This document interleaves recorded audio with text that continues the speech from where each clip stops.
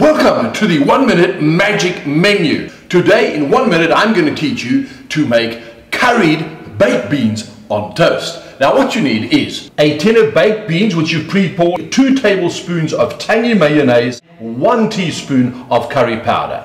Now, you set your stove on three, you take your baked beans, take a small pot, pour them into there, you take the mayonnaise, you take the teaspoon of curry powder, pour that into the mayonnaise like this, and then you start mixing that up. It's really good. Man, but it's hot. Have you seen these spoons? You do this with them like that and they, ah! Mm, psychic powers, the curry is way too hot. Take the curry with a skew spoon and you pour it into the baked beans. You stir everything together and let it simmer and heat up. And you pour them onto the toast like this and here you've got a wonderful dish for the evening for yourself, a baked beans in curry sauce on toast. You'll notice I didn't butter the toast. I'm on a diet, but you're welcome to butter the toast beforehand. That's it from me, Wolfgang. I'll see you for the next one minute magic menu.